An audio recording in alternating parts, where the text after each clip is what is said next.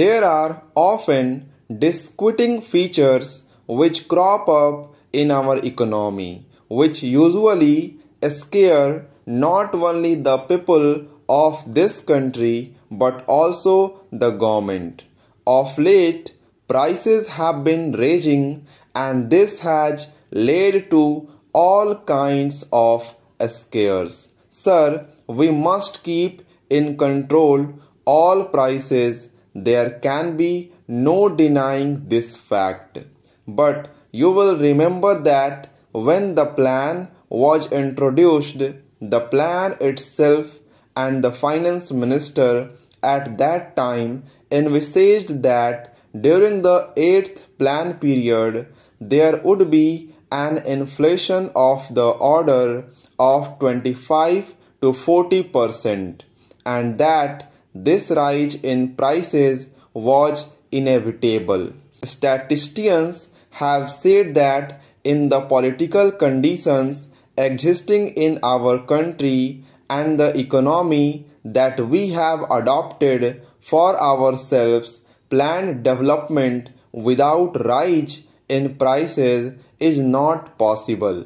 But during the course of these five years, the rise in prices will not be even. There will be points when the prices will go up very much. But what we should aim at is that on an average prices are kept steady.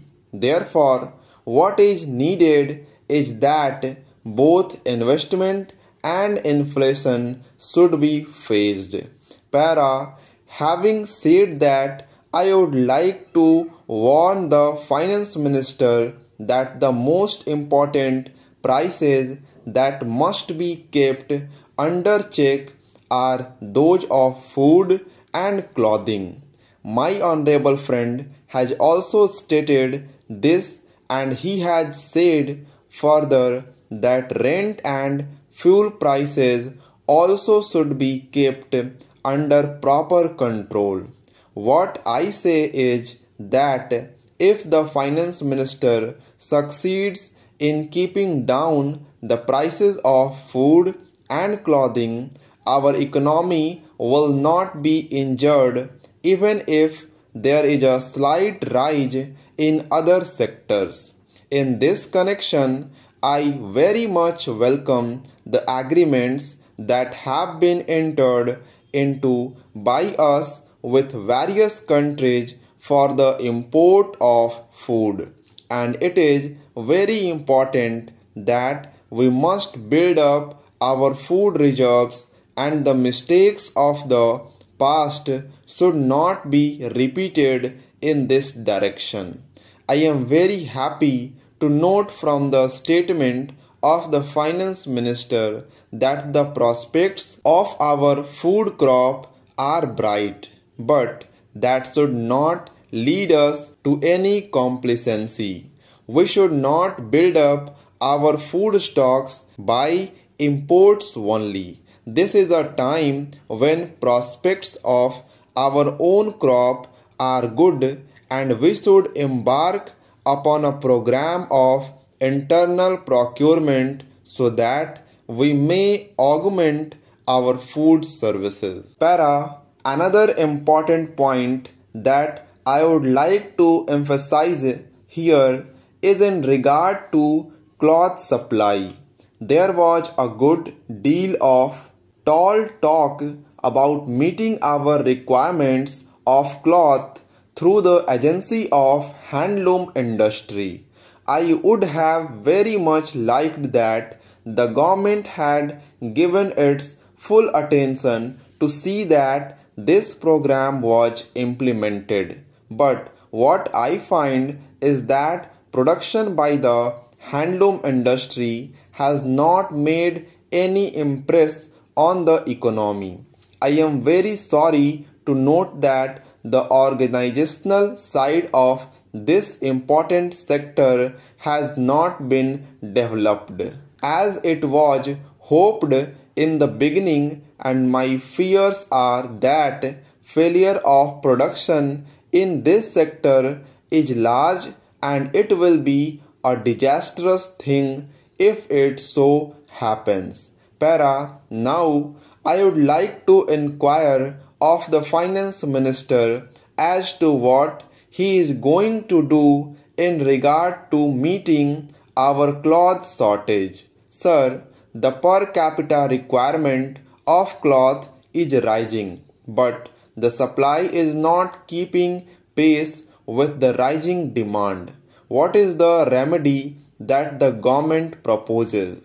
Are they still sticking on to getting supply from the handloom industry or have they decided to encourage cloth production by the mills? I would like to have a clarification from the government on this point because I have said that if we succeed in keeping down the cloth and food prices, we will be in a happier position to put through our plan. Para, now, sir, with regard to our sterling balances, you will remember that several times I have pleaded during the course of the seventh plan period that we are not making enough and proper use of our foreign resources. On this particular point, I would like to congratulate our finance minister because he has been successful in making a proper use of our foreign resources. These resources were available to us, but we were not making any use of them. Now, the finance minister has adopted a bold policy to make full use of the foreign resources. He has imported steel in huge quantities. I know, sir, that there is a steep fall in our foreign resources, which have been brought down considerably, and this steep fall in our foreign resources has scared some people. In this connection, sir, I would like to request our finance minister to so phase the utilization of our foreign resources that there is no steep fall which generates a kind of a scare in the country. It is not possible to phase out the utilization of foreign resources in such a manner that there is no steep fall.